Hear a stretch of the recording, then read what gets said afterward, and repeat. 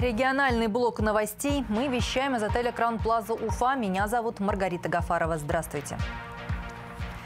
Численность официальных безработных в Башкортостане на начало ноября составила 121,5 тысячу человек. Треть от их общего числа приходится на УФУ – 39 тысяч. Об этом сообщает Министерство семьи, труда и соцзащиты населения республики.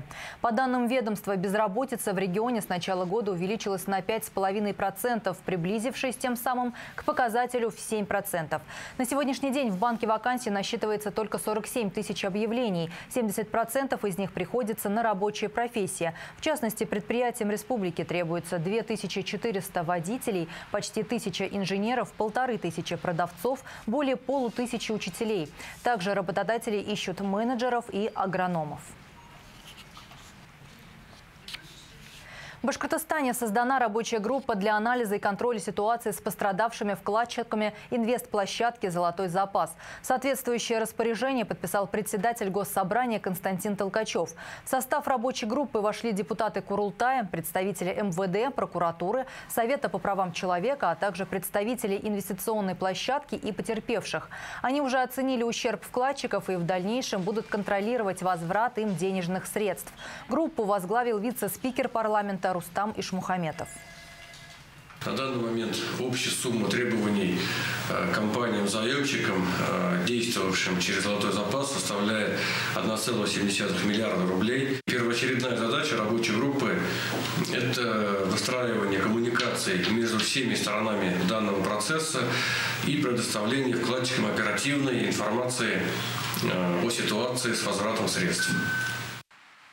Напомню, в марте 2019 года Центробанк России отозвал лицензию на осуществление банковской деятельности у Роскомснаббанка. Одновременно была аннулирована лицензия кредитной организации на осуществление деятельности на рынке ценных бумаг, в связи с чем началась, начались проблемы инвестиционной площадки «Золотой запас», на счетах которой оказались заморожены деньги вкладчиков. Более полутора миллиардов рублей в ближайшие четыре года направят в республике на обеспечение жителей качественной питьевой водой. Основная часть средств выделена в рамках национального проекта «Экология». Об этом сообщил министр жилищно-коммунального хозяйства региона Борис Беляев на заседании Президиума правительства. Средства позволят, э, в частности, построить станции очистки воды и заменить часть сетей в Стерлитамаке и Бирске.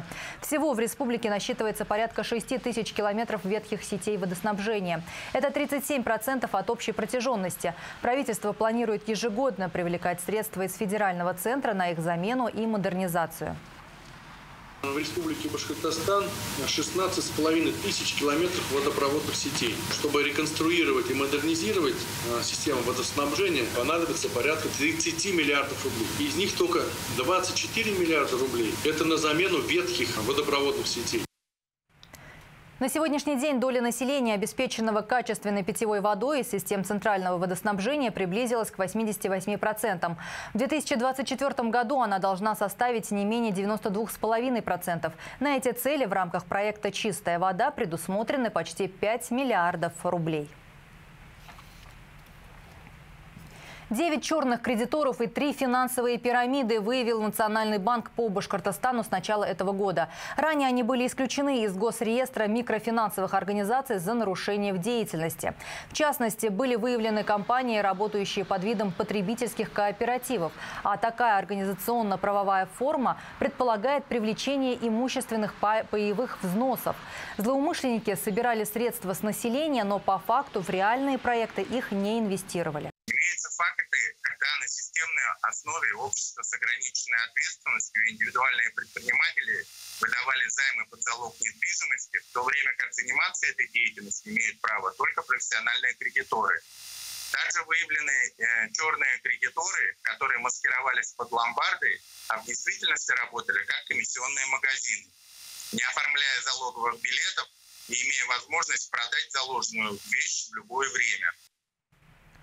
В целом по стране за 9 месяцев этого года Банком России выявлено более 1 тысячи нелегальных финансовых организаций.